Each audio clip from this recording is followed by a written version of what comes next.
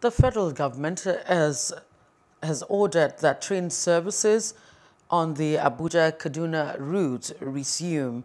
Train services had been suspended on the route after terrorists attacked and abducted scores of passengers in March, most of whom are still in captivity.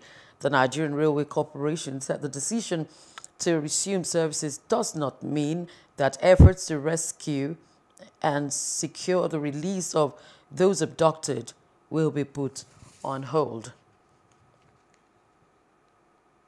Hello, hope you enjoyed the news. Please do subscribe to our YouTube channel and don't forget to hit the notification button so you get notified about fresh news updates.